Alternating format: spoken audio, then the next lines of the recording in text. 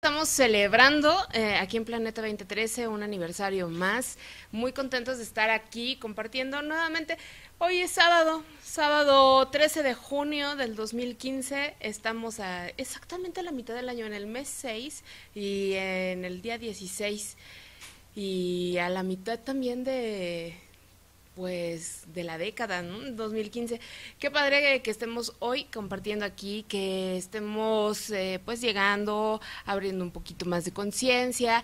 Conciencia, eso es una cosa muy importante. Conciencia la gente luego lo relaciona con que es ser uno shalala y bueno y, y no. O sea, qué padre, uno puede ser así por elección propia, pero conciencia es darse cuenta y lo que queremos eh, hacer un poquito es eso, conciencia, darnos cuenta, darnos cuenta cómo vivimos, darnos cuenta cómo nos relacionamos con las demás personas, darnos cuenta qué estamos haciendo en esta humanidad, en esta Pachamama, en esta vida que escogimos vivir.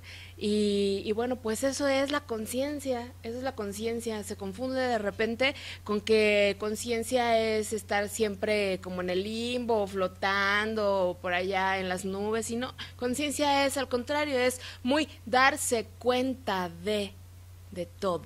Bueno, pues hoy eh, que, estamos hablando de conciencia, vamos a hablar eh, eh, del colibrí, de, de qué significa el colibrí, cuál es la medicina del colibrí, eh, qué se habla del colibrí, eh, alrededor del colibrí.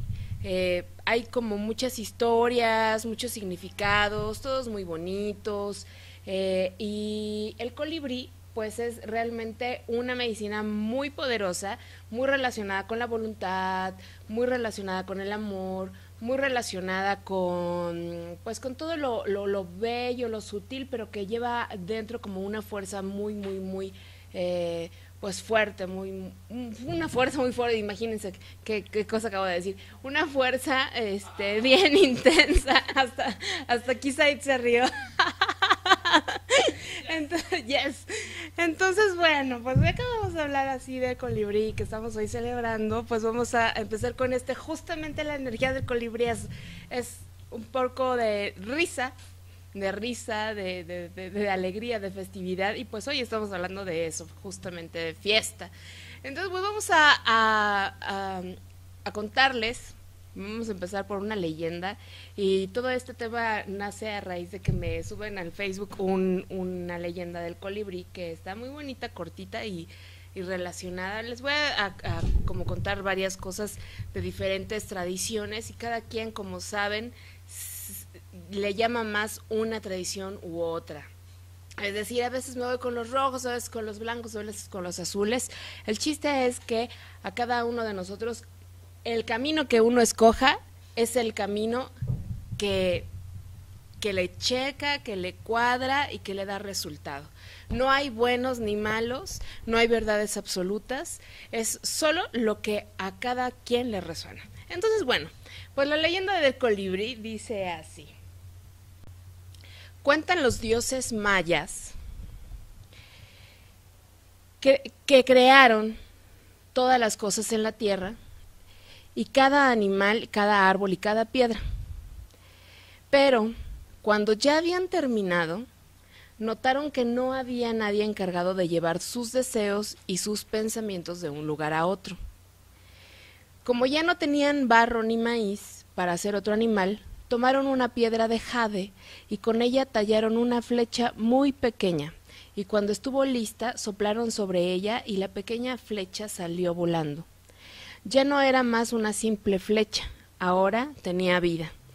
Los dioses habían creado al Unum Um. Era tan frágil y tan ligera que el colibrí podría acercarse a las flores más delicadas sin mover un solo pétalo. Sus plumas brillaban bajo el sol como gotas de lluvia y reflejaban todos los colores.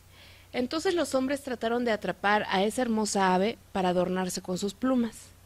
Los dioses al verlo se enojaron y dijeron, si alguien osa atrapar algún colibrí, éste morirá. Por eso es que nadie ha visto alguna vez a un colibrí en una jaula, ni tampoco en la mano de un hombre.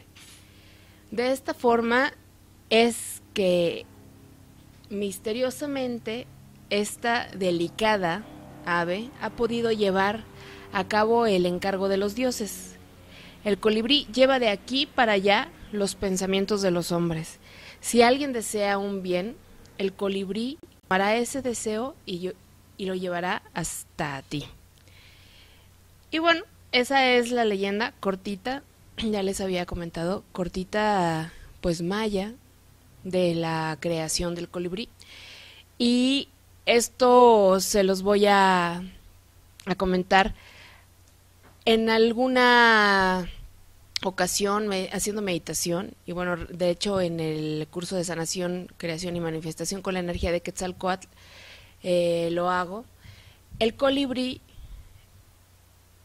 representa o sale del lado izquierdo. Este es mi lado izquierdo. Y lleva los pensamientos y los deseos y los sueños. Los lleva hasta el sol. Los lleva eh, en la noche, además, a diferentes partes donde tú quieres eh, pues hacer como acuerdos y hacer eh, que se empiecen a conectar los hilos que permitan que se manifiesten tus sueños y tus deseos. Y es así como va el colibrí, llevando todo eso que has trabajado eh, para manifestar, para crear algo en tu vida. Entonces, son esos pensamientos, son esos deseos, son esos sueños, es algo muy sutil, pero siempre va del lado izquierdo. Y si han escuchado, eh, cuando se hacen las invocaciones y demás, es en el lado izquierdo, ¿no? Cuando dice, y el colibrí zurdo, el colibrí izquierdo, el colibrí de la voluntad, el colibrí del amor, el colibrí de los sueños, pues todo esto significa el colibrí. Entonces, pues bueno, eh, ya que estamos trabajando con la energía del colibrí, y ya les eh, pues conté alguna una leyenda de este lado de maya. Ahora les voy a contar una leyenda un poquito más abajo del sur. Ya saben que la medicina del sur pues pues es es, es algo que trae como muy fuerte.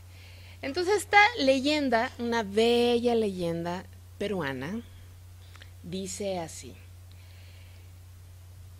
esta bella leyenda quechua del Perú cuenta como la flor del cantu, convertida en colibrí, quinti, vuela hasta el dios Guatapayana para implorarle que salve a su tierra de una espantosa sequía. La reacción del dios y el despertar de la poderosa serpiente Amaru le dan a este relato una, una dimensión cósmica. Cuentan que hace muchísimos años una terrible sequía se extendió por la tierra de los quechuas. Los líquenes y el musgo se redujeron a polvo y pronto las más las plantas más grandes comenzaron a sufrir por la falta de agua. El cielo estaba completamente limpio, no pasaba ni la más mínima nubecita, así que la tierra recibía los rayos del sol sin el alivio de un parche de sombra. Las rocas comenzaban a agrietarse y el, y el aire caliente levantaba remolinos de polvo aquí y allá. Si no llovía pronto, todas las plantas y animales morirían. En esa desolación solo resistía tenazmente la planta del canto, que necesita muy poca agua para florecer y florecer en el desierto, pero hasta ella comenzó a secarse. Y dicen que la planta, al sentir que su vida se evaporaba gota a gota, puso toda su energía en el último pimpollo que le quedaba. El último pimpollo quiere decir el último capullito que quedaba. Durante la noche se produjo en la flor una metamorfosis mágica. Con las primeras luces del amanecer, agobiante por la falta de rocío, el pimpollo se desprendió del tallo y en lugar de caer al suelo reseco, salió volando convertido en colibrí. Zumbando, se dirigió a la cordillera, pasó sobre la laguna del Guacracocha, mirando sediento la superficie de las aguas, pero no se detuvo a beber ni una gota. Siguió volando cada vez más alto, cada vez más lejos, con sus alas diminutas. Su destino era la cumbre del monte donde vivía el, dios Guatapayana, Guatapayana se encontraba contemplando el amanecer cuando olió el perfume de la flor del canto, su preferida, la que usaba para adornar sus trajes y sus fiestas. Pero no había ninguna planta a su alrededor, oh sorpresa. Solo vio al pequeño y valiente colibrí, oliendo a cantu, que murió de agotamiento en sus manos luego de pedirle piedad por la tierra agostada. Guaitapayana miró hacia abajo y descubrió el daño que la sequía le estaba produciendo a la tierra de los quechuas. Dejó con ternura al colibrí sobre una piedra. Triste, no pudo evitar que dos enormes lágrimas de cristal de roca brotaran de sus ojos y cayeran rodando montaña abajo. Todo el mundo se sacudió mientras caían, desprendiendo grandes trozos de montaña. Las lágrimas de Guatapayana fueron a caer en el lago de Guacracocha, despertando a la serpiente Amarú. Allí, en el fondo del lago, descansaba su cabeza, mientras su cuerpo imposible se enroscaba en torno a la cordillera por kilómetros y kilómetros. Alas tenía que podían hacer sombra sobre el mundo. Cola de pez tenía y escamas de todos los colores. Cabeza llamante tenía, con unos ojos cristalinos y un hocico rojo. El amarú salió de su sueño de siglos desperezándose y el mundo sacó. Llevó su cabeza sobre las aguas espumosas de la laguna y alas cubriendo de sombras la tierra castigada. El brillo de sus ojos fue mayor que el sol. Su aliento fue una espesa niebla que cubrió los cerros. De su cola de pez se desprendió un copioso granizo. Al sacudir las alas empapadas hizo llover durante días y del reflejo de sus escamas multicolores surgió, anunciando la calma, el arco iris. Luego volvió a enroscarse en los montes, hundió la luminosa cabeza en el lago y volvió a dormirse. Pero la misión del colibrí había sido cumplida. Los quechuas aliviados veían reverdecer su imperio, alimentando por la lluvia, mientras descubrían nuevos cursos de agua, allí donde las sacudidas de Amarú hendieron la tierra. Y cuentan desde entonces, a quien quiera saber, que en las escamas del amarú están escritas todas las cosas, todos los seres, sus vidas, sus realidades y sus sueños. Y nunca olvidan cómo una pequeña flor del desierto salvó al mundo de la sequía. Pues esta es la leyenda quechua, muy, muy bonita, inspiradora. Es la voluntad, es la voluntad es los sueños, es el amor, es la fe, es el poder de la manifestación.